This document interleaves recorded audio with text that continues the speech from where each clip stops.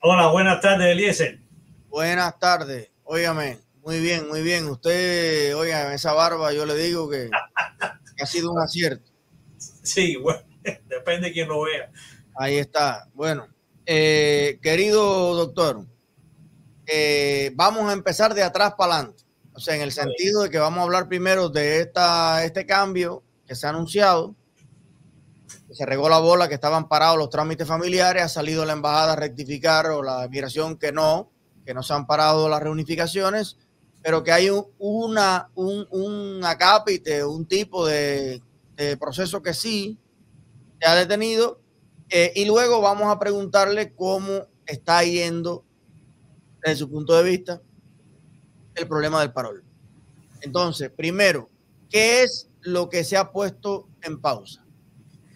Lo que se ha dicho que se ha puesto en pausa son aquellos paroles que eh, discrecionalmente podía dar el servicio consular cuando una persona acudía allí a, la entrevista consular para ser aprobado o no como beneficiario de una solicitud de reclamación familiar a través del modelo I-130, que es el que siempre ha existido desde que yo conozco que Migración tiene este programa que no es otro que el derecho, fíjense, no confundamos, vamos a distinguir entre derecho y privilegio.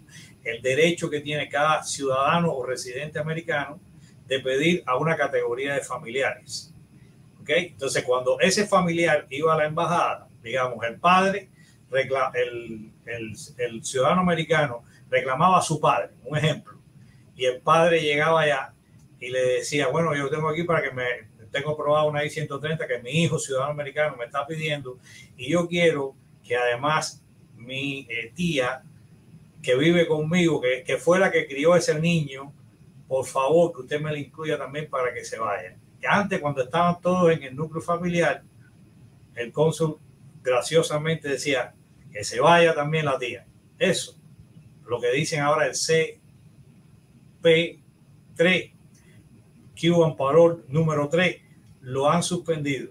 Es decir, que aunque usted vaya a la oficina, con, a la oficina consular, cuando tiene aprobado una I-130, que se han hecho todos los 12 pasos en el Centro Nacional de Visa, y usted va a la entrevista y va a llegar aquí con residencia y le va a decir al cónsul, yo quiero sacar también a la tía, al primo, al otro, todos viven conmigo en el mismo núcleo familiar, el cónsul le decir, no, y están diciendo que no a eso desde hace muchísimos años. Y es cuando llegan aquí la gente dice, yo dejé en Cuba un parol abierto para el año 2030, para mi prima Conchita, para la tía que vivía en mi casa. Ese es el que han suspendido. Ok, básicamente ya lo estaban haciendo en la práctica. Correcto. Pero ahora lo que lo han formalizado, para que ya usted lo sepa, es a modo de, de información prácticamente, no pretenda incluir a nadie que no sea consanguíneo directo, o sea, mamá, papá o hijos, eh, ¿por qué no, lo van a incluir? Bueno, eh, de todas formas nunca, está, nunca, nunca iban a estar incluidos. Eso era una prerrogativa discrecional o sea, usted tenía el oficial consular un pedido de clemencia que usted le un pedido mira, me gusta eso. Una clemencia. Ay, ¿usted cree que por favor me deje llevar también? Todos ellos viven conmigo en el núcleo familiar. Y el cónsul va a decir, eh, le dejamos el parol abierto para que en el año 30 usted venga otra vez a ver el caso aquí. Eso se acabó aquí. Entonces, esa es la única categoría de parol que han suspendido. No han suspendido ningún otro de los privilegios que tienen los cubanos. El otro gran privilegio que tenemos los cubanos, que tenemos, tenemos, tenemos otra vez la ley de ajuste cubano, cubano que entra legalmente por, eh, a Estados Unidos, su esposo, familiares e hijos, al año y un día de su estancia continua en los Estados Unidos pueden hacerse residentes, aun cuando esos esposos y hijos menores no sean ciudadanos cubanos. El otro gran privilegio de los cubanos se otorgó en el año muchos otros, las políticas de pie seco, pie mojado, antes de esa, el, el, el, el memorando de Doris Messner que decía, no importa cómo hayan entrado los cubanos, lo consideramos admitido. Pero en el 2007 se aprobó el, el Cuban eh, Parole Reunification Program. Si lo dije mal, no recuerdo ahora las siglas, da igual.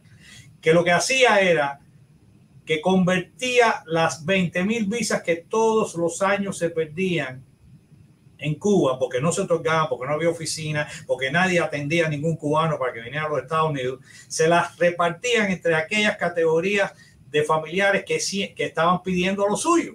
Y si usted era cubano y vivía en Cuba, por ejemplo, y su hermano lo estaba pidiendo, que son las reclamaciones más tardías que existen, ¿ok?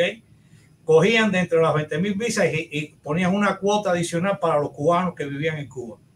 Y eso, así venían y van a seguir viniendo porque ese programa no lo han suspendido. Así he dicho yo infinidad de veces que traje a toda mi familia y la saqué del chiquero comunista, incluyendo a mi hermana Ana Beatriz Alpizar Rivero, que la traje, la reclamé en el 2007 cuando empezó el programa y en el 2009 estaba aquí con su esposo y su hijo. bueno, yo quiero dejar sentado, aunque no es eh, intención un debate al respecto, yo quiero dejar sentado que yo Eliezer Ávila, opino que eh, eso que ha mencionado el Pizar, que es así, pero yo no le, yo no creo que son privilegios. O sea, para mí en español, privilegio es algo que todo el mundo está en una condición y tú privilegias a alguien. Pero en el caso cubano, no estamos en la misma condición que el resto de América Latina. Hay un porqué y un motivo de esas decisiones de amparo a un pueblo que escapa por muchas razones eh, que ahora se sumó Venezuela y Nicaragua, pero cuando, hablo de la palabra en ese sentido. Entonces, yo, yo creo, no, porque así, así, esa también es la, la, la, vertiente del libro este que presentaron aquí de todo, que era. Sí, por eso lo digo, por eso lo digo. Claro, entonces, mi opinión personal, pero no es, eh, ¿sabes? Yo. No, no, yo quise hacer énfasis directamente en, ese, en, esa, en esa matriz de opinión que representa ese libro porque ese privilegio que dice todo el mundo que tenemos cubanos, no lo ganamos por ser víctimas del comunismo y por haber ido a pelear allí un grupo de cubanos y morir en, las arenas de Cuba eh, eh, tratando de reconseguir la democracia para un país entero que ha vivido 64 años en afrentas y en oprobio. Muy bien, entonces, querido El Pizar, eh, vamos a la segunda parte de la pregunta que le quería hacer. Eh, ya han pasado, ¿cuántos? Dos, tres semanas, ¿no? De la implementación del parol, no llega al mes. 12, a ver, empezó el día 6, estamos 19, 13 días. En apenas 13 días ya hemos visto, doctor Alpizar, incluso llegar a Miami eh, a varias personas. Eh, la familia Fernán viene el 28, le tienen pasaje y todo. Fernan nos cogió adelante a todo el mundo. No, Fernan nos cogió adelante a abogados y a todo el mundo. Fernan está hecho un loco y, eh, es experto ya eh, asesorando para llenar aplicaciones. Hace bien, yo, muy bien. Hace bien. Eh, óyeme, a, nosotros no nos ha aprobado nadie todavía. Muy bien. ¿Qué, qué impresión, qué tips, qué comentarios tendría usted que hacer a 13 días de la implementación de esta política? ¿Qué consejos a las personas que están en esto? Sí, mira, los consejos, uno, número uno, hay que tomar esto con mucha pausa y cuidado. Y el, la, esencia de la petición, que es en línea, y, y es verdad que no tiene ningún tipo de tarifa, ¿ok? No hay que pagarle nada de inmigración, porque el otro día también salió un muchacho camionero diciendo horrores de nosotros abogados porque había alguien que le estaba cobrando 1.500 dólares a, no sé quién. Yo creo que todo el que trabaja tiene derecho a reclamar compensación por su trabajo. Y si son 1.500, 2.000 o 750, que es lo que cobramos nosotros, creo que está justificado con la experiencia y conocimiento que tenemos nosotros y el hecho y el esfuerzo de hacer el trabajo por uno. Ahora, ¿qué le recomendamos a los patrocinadores? Que eso es la primera etapa, lo más importante, lo más seguro, que tengan a mano siempre, número uno, la condición de residente ciudadano o, o, la categoría legal que corresponde aquí en los Estados Unidos, que tengan un estatus legal. No vale permiso, no tengo un permiso de trabajo, no, no, no. Usted tiene que ser o refugiado o residente permanente o ciudadano americano o, o, o persona que haya recibido el DACA. ¿Ok? Esas son las personas que no. Un, un, detalle ahí. Si usted solicitó un asilo.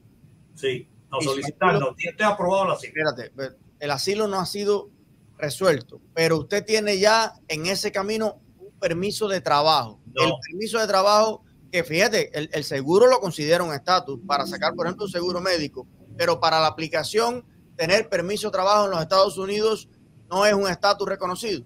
No, en mi opinión. Y eso no es lo que dice el, el, el documento que, que, emitieron ellos. Son lo, lo, que está, lo que he dicho anteriormente. Está listado, el documento los lista eh, explícitamente. Sí, eh, si lo tuviera por aquí a mano, ahora no lo encuentro, pero están ahí. Hay que buscarlo. Yo no considero que la persona que tenga un permiso de trabajo tenga el estatus que se necesita para participar en este programa. Ok. Eh, entonces, ¿qué más? Si, el, si, el, si él dice otra cosa que me desmiente, también me equivoqué, se vale. ¿Ok? okay. Ahora voy. ¿Qué necesita tener el patrocinador? Los impuestos del último año, del 21. O si ya tenemos el 22, mejor. Ah. Ahora, si las, las transcripciones se pueden obtener a través de reconocimiento visual en el website, en la página de internet de Servicios Internos de los Estados Unidos o el IRS. Eso no es problema ninguno. Lo otro que deben tener es el, la carta del empleado muy simple. ¿Qué hace usted? ¿Dónde trabaja y cuánto gana? También le recomendamos que tenga una, eh, un documento del banco que diga cuáles son los ingresos que usted tiene en el banco y de cuándo tiene esa cuenta. Y de ser posible, en la última, si es posible también, el último eh, estado de su cuenta bancaria. Esos son elementos esenciales que debe tener y por supuesto toda la información biográfica, incluyendo si es posible una página biográfica del pasaporte del beneficiario y un certificado de nacimiento de ese beneficiario. Con eso estamos ya caminando. Sí, y si falta algo, ellos no lo dirán. Eso es lo que dice.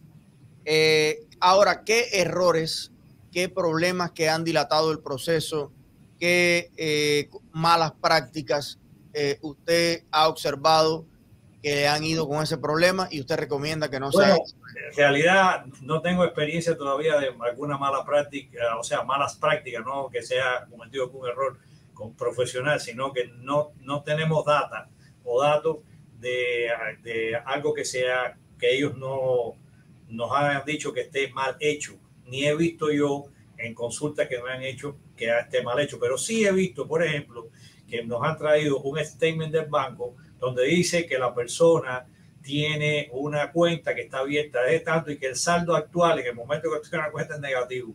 Óigame, eso no es muy bonito, ¿verdad? No, tú puedes tener un momento, una, una, cuenta, un saldo negativo porque se te ha saltado un pago y no has ingresado el último cheque. Está bien, pero trate de que no sea eh, eso a la vista porque una, la, la, infeliz coincidencia de que yo quiero traer a mi papá. ¿Cuánto usted tiene en el banco? Menos, menos 25 dólares. eso, eso, eso, nos pasó aquí. Eh, no, este no es. Busca. Coño, ahora si, si, si tiene más 25. Bueno, está bien, si tienes más 25 y tienes un promedio, digamos, de, de depósito de 3 mil dólares mensual y tus gastos aparentemente son 2 mil, tienes mil de, de, de surplus. Así que, mira, otra vez digo, a la pregunta de cuánto es el mínimo que se requiere para ser patrocinador, ¿hay algún mínimo de ingreso? Y la respuesta que da el mismo servicio de inmigración es no. Repito, no. Y después pone punto. Y entonces continúa un párrafo. Nosotros consideramos que esto, que lo otro. Y entonces, si acaso tendremos en cuenta la tabla de pobreza de federal, no la de inmigración, que es distinta. Ya eso lo dije una vez en una ocasión. La, la tabla de pobreza e inmigración, que es la I-864, letra P de Pablo, de pobre, eh, y de otras cosas más, dice la I-864P sí es muy, muy estricta y es la que se usa cuando usted, ciudadano americano, residente, está pidiendo a un familiar en Cuba y la aprueba. Y cuando el Centro Nacional de Visa le pide los requerimientos a usted de fondo, dice, si usted es una persona, tiene que ganar y va a reclamar a otra, que son dos, no tiene usted depende, el mínimo sería, creo que ahora son 23 mil dólares. Si usted es una persona y tiene dos dependes y vienen dos, son cuatro. Y entonces la tabla baja y dice, usted tiene que ganar 40 mil pesos. Eso no lo están aplicando para la I-134A. No es así. El Servicio de Inmigración ha insistido que no hay un mínimo de ingresos anuales que usted tenga que demostrar para hacer el patrocinador de una persona. O sea que eh, ellos eh, no es matemático el asunto necesariamente. No es matemática, es discrecional. Literalmente el caso.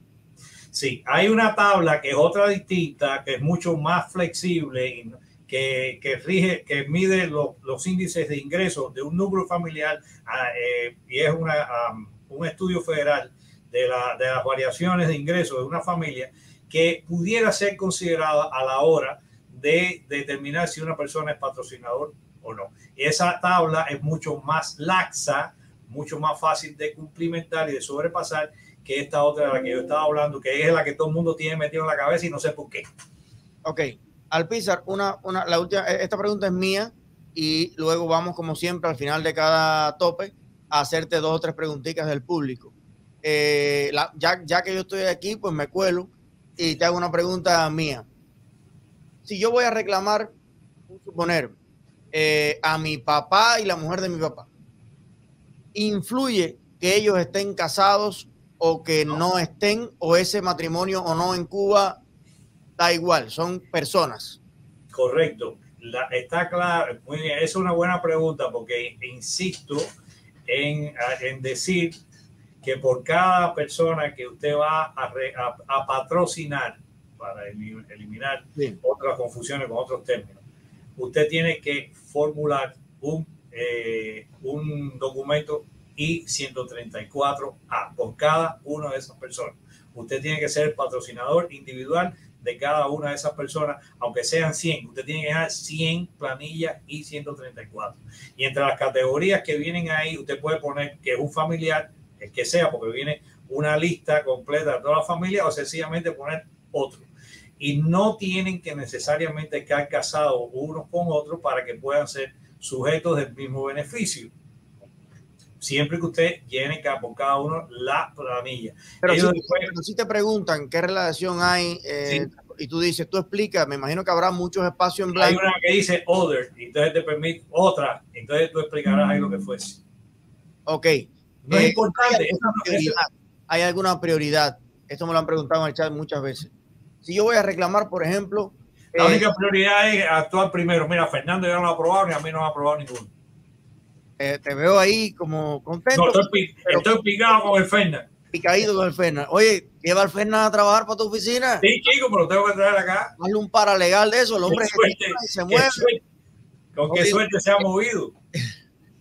no, si ya Fernando tiene ya como 300 casos de éxito para lado. Hay, hay, hay, un youtuber que se llama, eh, se llama Fernando, al cual felicito por el trabajo que hace, que es creo de origen mexicano, a cual la gente acude muchísimo. Incluso hay algunos clientes míos que han venido a través de Fernando y le han hablado a Fernando de mí, que es otro Fernando. Y ahora tenemos entonces a Fernando, el de la I-134, que es como. Mira, conectado, mira, Fernando conectado. Ahí está. Sí le voy a pasar el bill de, la promoción mía del mes. Óyeme, eh, no, yo, estudié con Fernando el otro que tú dices para la entrevista. Ah, sí. Hace muy buen trabajo. El canal se llama así, estudié con Fernando. Óyeme, eh, Alpizar, si yo voy a reclamar, por ejemplo, a mi papá o a mi mamá, y voy a reclamar también a un conocido mío que estudió conmigo y vive en otro lado de Cuba, en otra provincia, que sé yo, usted ha notado y eh, sube a Fernán, a pasar el link a Fernán, ya que Fernán aquí eh, nos enseña también a nosotros cosas en la práctica. Eh, ¿Usted ha notado que hay alguna, a la hora de tomar la decisión, el oficial que revise migración dice, bueno, una prioridad sobre este vínculo sanguíneo directo o un amigo X o lo están tratando de la misma manera a familiares y no familiares? Nuevamente te digo, aquí en mi oficina que hemos llenado unos cuantos documentos, no tenemos, no podemos ofrecer un dato ahora mismo de ese tipo de prioridad porque no, no lo conocemos. Pero a mí me impresiona, me parece, especulo, imagino y describo que no estén tomando eso en consideración, sino que es más bien actúan por orden de prioridades. Y la prioridad está en el que llega primero. Es una carrera. El primero que vean, ahí se lo revisan y si todo está bien, lo aprueban sin tener otra consideración. Mira, yo creo que Fernán ayudó a, a Ivanova, mi madre adoptiva aquí, de, eh, a llenar su planilla, pues dice, gracias Fernán, ya mis familiares van a comprar pasajes. Óigame, está que es un cuchilla, cuchilla el Fernán. Fernán, bienvenido. no había podido interactuar. Oye, hasta manejando, hasta, hasta manejando le aprueban a Fernan la I-134. Fernan ya dicta, ya, ya, manda por mensaje WhatsApp, ya la, la bueno. Y ya, diciendo, eh, Fernando, que venga, están aprobados. Ya él habla con Mallorca directamente por WhatsApp. Parece que alguien le, alguien le han dicho a alguien, alguien alguna cosa fea de mí que aquí no ha aprobado todavía nadie. Exacto. Fernando, tengo una preguntita para ti. Bueno, primero, eh, coño, gracias. Eh, ya una personalidad pública famosa como tú, por dedicarnos siempre unos minutos. Eh, a mí, al Pizar, aquí que humildemente te saludamos. Eh, primero, dame dos o tres tips que, de cosas que, en tus procesos tú consideras que la gente debe tener claras. pero después te voy a hacer una pregunta en particular aquí para que le explique al Pizar una cosa. A ver. Fernan, dime primero en todas las proyectos la, tu impresión general. Mira, la parte que más así yo veo confusa para algunas personas es cuando le preguntan que cuánto dinero va a destinar anualmente para ayudar a, un beneficiario eh, ¿saben? puntual. Entonces la persona dice, bueno, eh, yo voy a destinar para este beneficiario 5 eh, mil, pero la persona está llenando cuatro planillas, ya está, ya está teniendo que poner 5 mil para cada uno, que al final de la jornada la matemática dice que son 20 mil pero si tu income total eh, está justo para, para, aplicar el número de personas, según la tabla que dice Alpizar que no es, pero bueno, yo me he regido por esa para más o menos no equivocarme. Y, y aparte de eso, no tienes una cuenta de ahorro con un saldo, digamos, suficiente. Y no tienes un activo, no tienes una propiedad de un carro pagado, no tienes nada donde sacar esos fondos, yo digo, bueno, ¿de dónde vas a justificar que vas a darle 20 mil dólares a cuatro personas anualmente si no tienes, no, la matemática no te da? Entonces yo no sé qué, ahí tengo mis dudas y a veces trato de ir, de poner un número que esté en, margen con lo que está declarando que tiene de income y con lo que está declarado que, declarando que tiene de, alguna propiedad de un carro que tiene algún valor o si tiene alguna inversión o del gobierno o cosas así. Eh, ya hay un caballero patrocina, me dice libertad. Imagínate tú, una libertad que necesita patrocinamiento. Y lo otro que he visto que también ponen en ese número el income total que la persona hace. Yo me pregunto, ¿cómo tú vas a poner que vas a ayudar al patrocinador con tu income total? No entiendo esa parte. Bueno, pero yo, yo creo que ahí a lo mejor no hay que inflar mucho el número en el sentido de, de por aquello que donde come uno, comen dos. Si yo lo voy a tener en mi casa, cuando cocinamos la casa, yo le doy el desayuno, le doy la comida, le doy. Tal vez no hay que poner un número muy grande en un dinero Exacto. Te voy a decir la, lógica que yo analicé, porque yo, como todo el mundo sabe, yo corrí a hacer esto, yo no había estudiado nada y nada más tenía una noción. Y cuando me tocó esa pregunta, dije, bueno.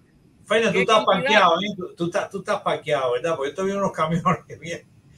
Digo, ¿qué cantidad será suficiente para poner aquí?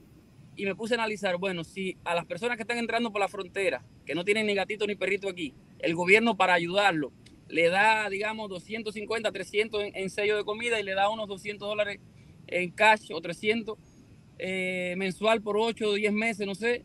Saqué una cuenta matemática y me daba como 7.600 o 6.700, no me acuerdo ahora. Y digo, bueno, yo voy a poner que 10.000 porque es más que lo que está dando el gobierno. Y entonces por ahí saqué la cuenta, pero entonces tuve cómo justificar esos 10.000. ¿Entiendes? Con el en tu caso, eso fue en tu caso particular. En mi caso particular. De hecho, otras planillas, otras personas que veo que no tienen suficiente fondo y una cosa, entonces le digo, en vez de 10 mil a cada persona, vamos a poner que vas a ayudar con 4 mil o con 3 mil o con 2.500, porque no, no veo de dónde, si alguien analiza discreción, como dice el PISA, no va a ver de dónde sale ese dinero. No, la otra, la otra cosa que está diciendo Fernando, aparte de, la, de esas disquisiciones matemáticas en las cuales yo soy pésimo, por eso fue a la escuela de Derecho y no estudié otra cosa, eh, y como esto es discrecional, la, es sobre todo el lenguaje que uno utiliza para ofrecerle eh, a, a inmigración la seguridad de que ese beneficiario en realidad estará completamente cubierto en sus necesidades de conseguir el empleo, de tenerlo bajo el, el, el, cuidado de la, la, casa, eh, o sea, un lugar de residencia, que también, como dices tú, Eliezer, cuando se cocina para tres, se está cocinando para los cinco que van a venir. Y esas cosas también son válidas y considerables, especialmente cuando el patrocinador puede acreditar que es el propietario de una casa donde puede venir a vivir ese individuo o los, que, o las o los varios que esté reclamando. Ok, eh, voy para la pregunta, eh, primera pregunta del chat. eh, para ambos, para el que pueda responderla. Em, se había dicho que una persona puede patrocinar, pero también puede patrocinar una compañía. ¿Ustedes tienen, han llenado alguna aplicación que se haya hecho a través de compañía y no de persona? Y en ese caso, ¿es lo mismo o es diferente? Mira, yo hice uno, en, yo hice el ofrecimiento público de traer a uno de los concursantes del programa de, la hora Caraola que viene de Cuba, de la señorita León Manfugaz, y nosotros lo hicimos desde la oficina mía sin embargo, terminan pidiéndote datos personales.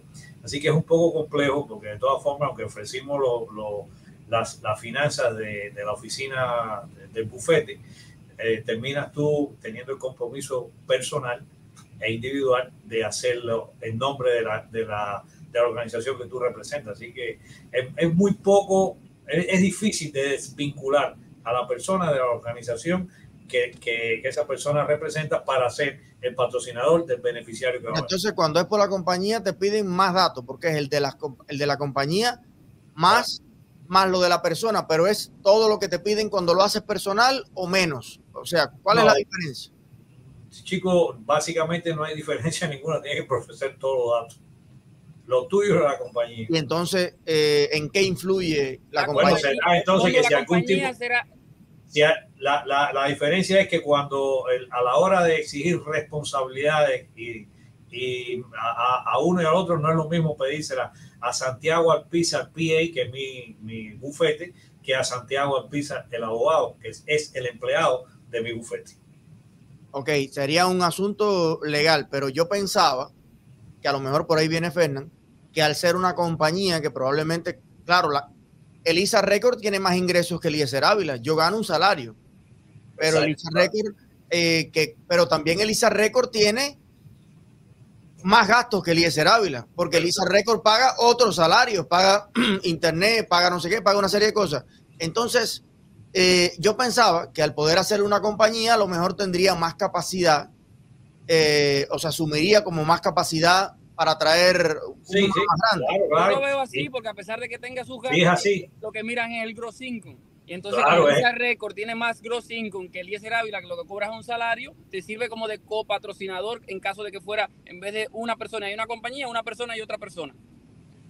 Y hay, hay instituciones de caritativas que están interesadas en hacer patrocina, eh, patrocinadores de un grupo de personas y pastores. Eh, lo he visto todo en grupos de, de eclesiásticos que han llamado y nos han hecho esa, esa propuesta y esa posibilidad para eh, poder beneficiar a un grupo de feligreses que son afines dentro de un grupo más amplio o asociados a, una, alguna denominación cristiana, sobre todo de las iglesias nuevas que hay en Cuba.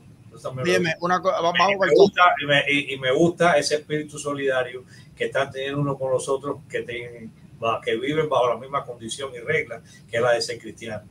Óyeme, eh, dice Giovanni Rodríguez Santos, eh, abogado 1 y abogado 2.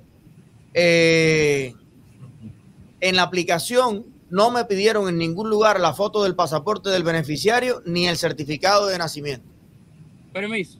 Yo cuando voy a llenar una aplicación solicito que me manden la foto para yo constatarme en primera persona del número que tiene el pasaporte, de la fecha de expiración que tiene el pasaporte y del lugar de nacimiento que tiene Eso el pasaporte. Eso es lo importante, son los datos biográficos. exacto, los datos. Pero me prefiero, prefiero constatarlo yo en primera persona que no que me diga, no, me mandó el texto que dice que el número de pasaporte es tal. Por eso lo que yo pido es una, es una foto. Esa es la razón por la que se pide eso.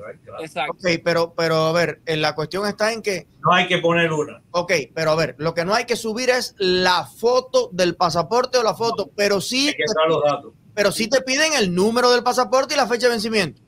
claro, por eso, por eso le pedimos la fotocopia del pasaporte y la fotocopia de la licencia, de la Para tomar de ellos datos.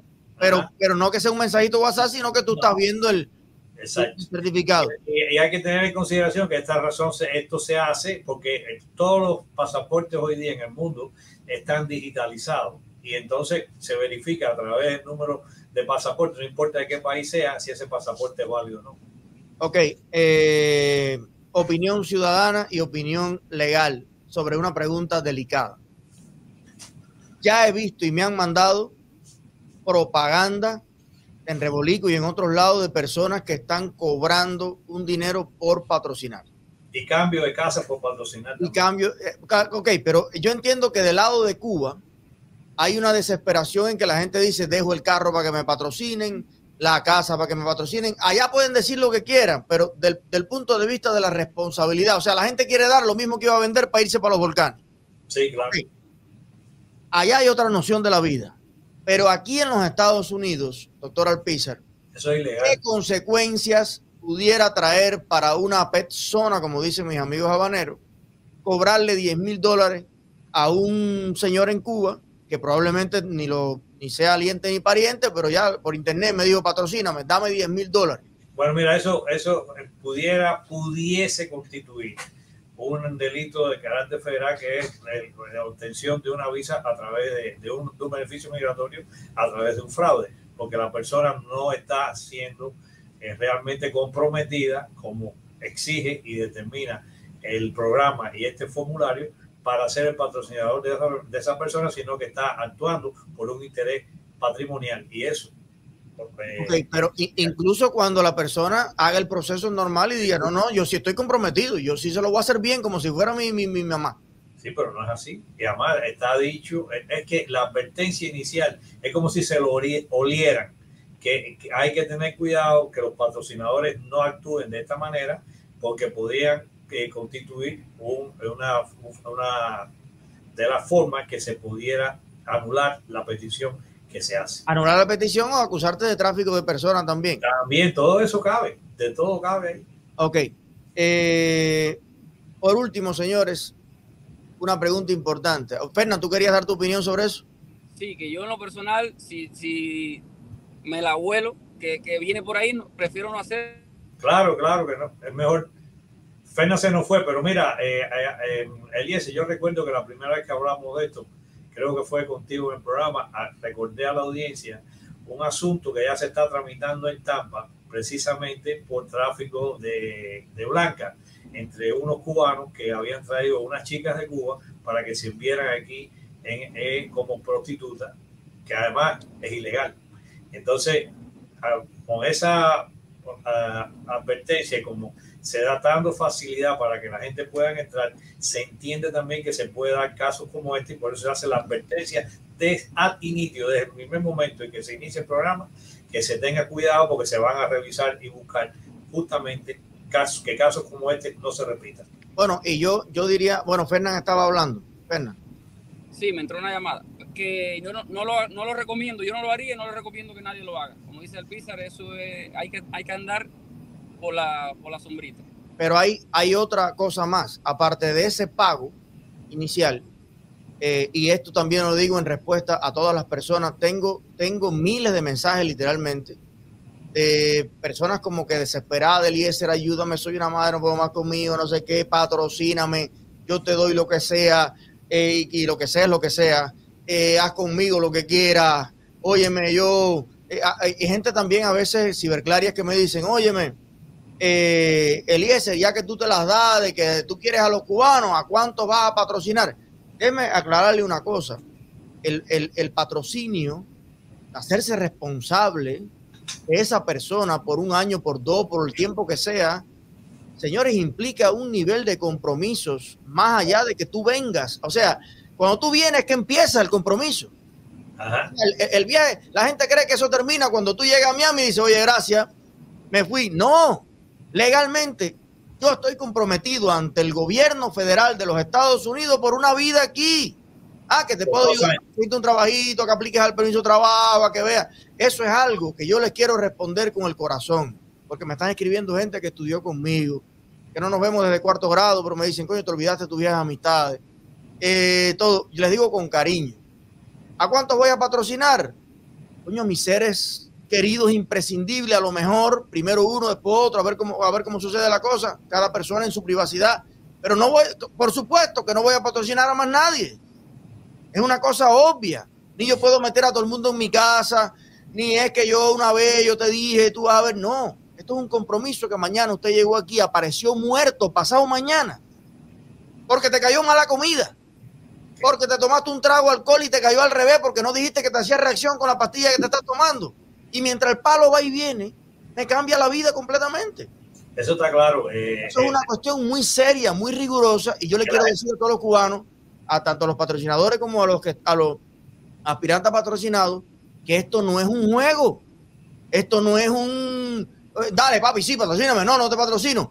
Me arreglé contigo ayer, te voy a patrocinar. Mañana discutimos. No, no te patrocino. Señores, esto es una cosa seria, una decisión de vida, una responsabilidad muy grande, que no hay ningún dinero que justifique lo que puede pasar en ese tiempo. Señores, tú sabes que en, Estados, en Cuba 10 mil dólares son 10 mil dólares. ¿Qué coño son 10 mil dólares en Estados Unidos? Muy poco.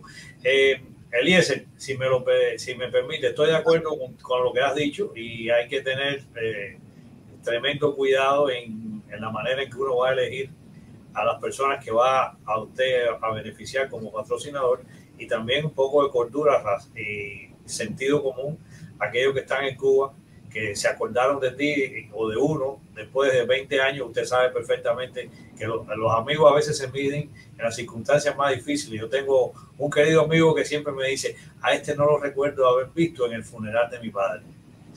Tengan cuidado, tengan mucho cuidado con las cosas que hace. A mí también me han venido cientos de decenas de peticiones de ese tipo. Y digo lo mismo, no vamos a patrocinar absolutamente a nadie más que a una persona que es mi amigo personal de toda la vida, y se lo ofrecí. Y si él está de acuerdo, y creo que lo va a estar, ese viene para acá conmigo. Pero fuera de eso, ya yo traje a todo el mundo. Nosotros hemos cumplido, creo que en la medida de las posibilidades, con la esencialidad de nuestra, de, de nuestra, de nuestro ser, que es nuestra familia. Y fuera de eso, eh, yo creo que pedirnos algo más es injusto, es inadecuado y además, sobre todo, irrecíproco cuando yo estuve en el Vivac preso allí en La Habana o detenido en, tantos calabozos en Cuba, eh, realmente preguntó por mí mi abuela y mi papá y mi. Ahora todo el mundo es, oño, la amistad tan grande que yo, bueno, pero no, pero no es ese el tema. O sea, yo no tengo nada contra el que no voy a patrocinar. O sea, que nadie se piense que el hecho de que yo no lo patrocine es porque yo tengo algún recelo, resentimiento, odio. No, yo tengo el mejor aprecio por usted. Pero es que es un proceso legal formal importante y es que yo no, no estoy apto para hacerme cargo de usted. Está bien, años en este país, o sea, no tiene sentido. No, pero yo voy a trabajar con él. Yo no sé lo que usted va a hacer. Nadie no sabe. en Burlington o va a tener un accidente en la esquina. ni yo ni usted podemos predecir el apendicitis que te va a dar el mes que viene. No lo puedo predecir. No, y hay que tener, esto, esto es un esfuerzo también. Yo quiero nuevamente reiterar que el trabajo es tan malo que es por lo único que se paga. Así que eh, esos que critican a aquellos que nos cobramos por nuestro trabajo, eh, me parece que es muy injusto. Yo le, yo le escribí al camionero, yo le escribí al camionero, le dije, le dije señor, usted no, es yo una carga de un estado a otro por 50 dólares, que yo también... No, claro que no, claro que no lo va a hacer. Entonces hay que tener cuidado con eso porque eh, están, confunden a veces. Sí, es cierto que inmigración no cobra absolutamente nada por procesar estos casos, pero sí es cierto que todo el que tenemos que hacer el trabajo, sí vamos a cobrar por hacer el trabajo que usted no puede hacer y que no sabe hacer. Y, y, obviamente estamos poniendo en ello nuestro prestigio, nuestro talento, nuestro conocimiento y, profesión y experiencia. Por tanto, tenemos derecho a cobrar. Y en, razón de la, de, la, de la, cantidad de experiencia, contenido, de trabajo, esfuerzo que se hace, así se cobrará en cada caso. ¿Y lo que te costó a ti tu carrera de derecho? ¿Quién te lo, quién te lo va a pagar él? No, todavía lo estoy pagando yo.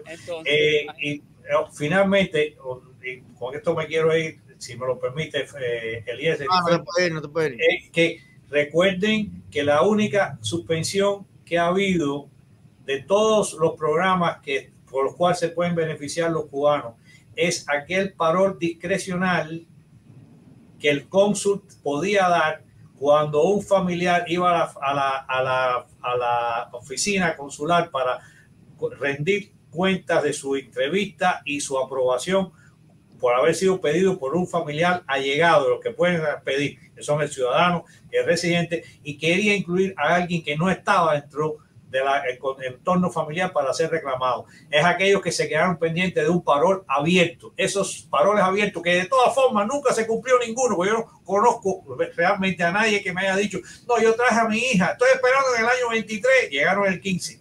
En el 23 que le van a abrir el parol. Bueno, ya se enteró lo que siempre yo le dije, mira, si usted no pone una reclamación para ese, o hace el esfuerzo personal en esa persona que usted quiere traer, olvídese el parol ese provisional, eh, discrecional que está, que quedó abierto. Eso no se va a dar nunca. Y esto es lo que han dicho hoy en La Habana. El programa de reunificación familiar para la familia cubana a través del parol continúa. El parol a través de la I-134A continúa. Las reclamaciones familiares de, hermano a hermano, eh, ciudadano, eh, residente, permanente residente que quiere pedir a su hijo o su esposa, continúa. No hay equivocaciones en eso, por favor. Okay. El único que se ha suspendido es ese que era a discreción del cónsul y que quedaba para un futuro ser aprobado. Perfecto. Entonces, la última pregunta, eh, bueno, la opinión que tenga cada uno. Una cosa que me, que me, me preguntan muchísimo los, los, que, los que están pensando patrocinar a alguien es esta. Eh, yo quiero mucho a mi papá, yo quiero mucho a mi mamá, pero por alguna razón yo no viví con ellos ni en Cuba. La cosa es que yo lo quiera como madre, como padre, como tío, como primo, como amigo, pero otra cosa es la convivencia. Y entonces, bueno, yo aspiro a que llegue, le solicito su permiso de trabajo, que no llegue inmediatamente mañana. Tiene su tramo, su tiempo, llegó, le voy, le voy haciendo todo lo que estamos haciendo a la gente que llega. Ah, perfecto. Oye, y no han dicho que lo van a hacer gratuitamente. Que yo sepa, eso cuesta. Y el costo es 410 dólares nada más que por el permiso de trabajo, sin contar el que se lo va a hacer, que también le va a cobrar por eso. Entonces, eh, pero vamos a suponer que al cabo de seis, siete meses, yo traje tres o cuatro gente, la casa mía no es muy grande, y pasa lo que siempre pasa, eh, obligado, lo que pasa el 100% de las veces. Mi esposa no estaba muy de acuerdo, yo me impuse y dije, coño, es mi familia, y yo, y uh, y desde que llega la sobrina con el que sale y no se pone ajustador y sale del baño y el otro deja la toalla afuera, el otro no limpia la y se arma un tema familiar complicado. ¿Qué derecho o no tiene el patrocinador cuando tiene, no es lo mismo comprar pescado que verlo llegar y ver los ojos, cuando está el problema armado en la casa? y ya mi mujer le tiró un tenedor a la suegra y la suegra dijo que quién carajo eras tú que está casa de mi hijo. No, no, no, no, no, Eso no, esto no es Cuba. Eh, la, la, persona que, que, tiene su residencia tiene derecho a y exigir a que vivan con él lo que él quiere, los demás se tienen que ir. Ok, pero ver, el. No, las consecuencias, las consecuencias legales de esa decisión pueden ser muchísimas. Eh, no sabremos porque todavía no tenemos la data. pero, pero, pero, ahí, ahí eh, dicen que las leyes están como en, como en, como en niveles, ¿no? Eh, hay cosas que son derechos como de fuerza mayor, otros otros, y se impone la que, la que, la que más aplica al asunto. Yo tengo el derecho de que en mi domicilio viva quien yo quiera. Pero, pero yo acabo de hacer un compromiso en que yo dije que en mi domicilio iban a vivir por dos años unas personas que a los tres meses no se quieren ir y yo no quiero que estén y hay conflicto y voy a perder mi matrimonio y entonces vino mi papá se ha metido a borracho. a ver, es muy difícil eso de cómo, se va, de cómo se va a resolver. Pero una forma de resolución, digamos que te dice, oye, usted tiene un compromiso ineludible con el gobierno federal de responder por estos dos años. Si ellos no quieren que vivan con usted, usted tendrá que buscar un lugar donde vayan a vivir. eso, es ah, eso es lo peor que puede pasar.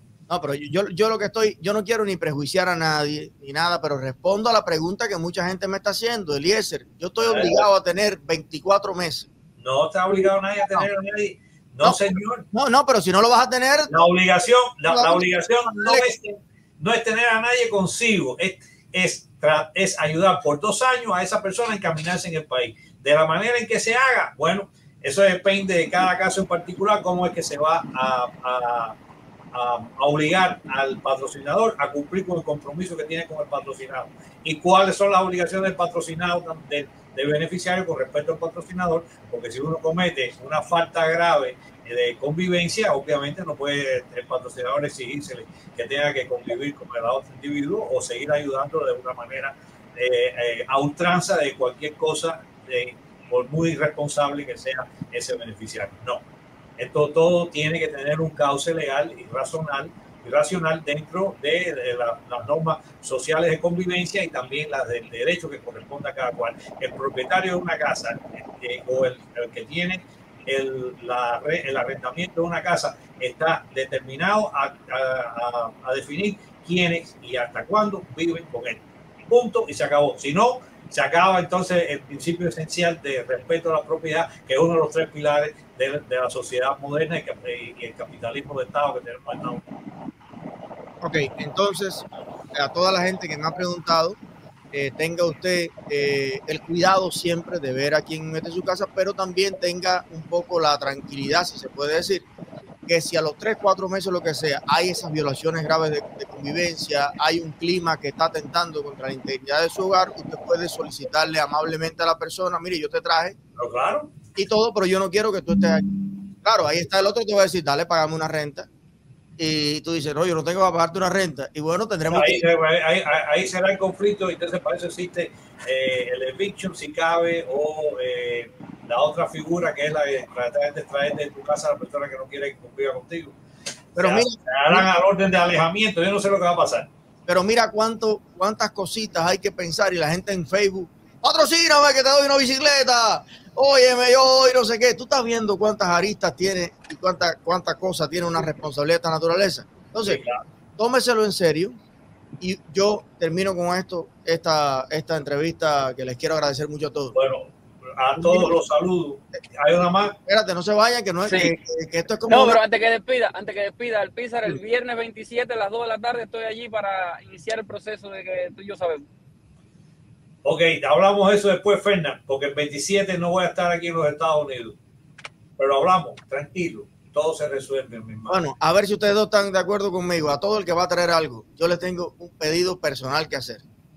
Y el pedido personal que le, que le voy a hacer a todo es, no traiga delincuentes. Te lo digo como, como, padre de dos muchachitas, te lo digo como persona que, que quiero y amo este país. Puede ser tu hermano, puede ser tu qué sé yo. No traiga ladrón, men no traiga gente sin principio, no traiga, no, pero coño, es que él es, del carajo, pero bueno, yo lo traigo y lo suelto, claro, para que lo sufra yo. No, no, no, de verdad, no traiga endijero, no traiga recabuchador, no traiga, trae gente buena. Prefiero, yo no mando en ti ni en tus decisiones, pero te pido, de rodillas, yo prefiero que traigas a un vecino lejano, bueno, a un buen carpintero, un buen zapatero, a un, a un buen papá. Y compadre, si tu padre es un cagado, déjalo no, no, te lo digo con cariño, el cariño que te tengo, porque tú vas a salir del alme, pero después lo va a coger la cárcel de condado y lo vamos a tener que mantener todo el mundo. Y ya te digo, traigan gente buena, gente que aquí se encamine y que de verdad se lo merezca. Oye, un abrazo bien grande, mi querido Abrazo, abrazo bien grande, querido Fernando. Gracias, Fernando, por la experiencia. Llámame después por interno, entre tú y yo arreglamos el tema que nos compete. Un abrazo fuerte. Saludos a todos. Lo quiero. Gracias.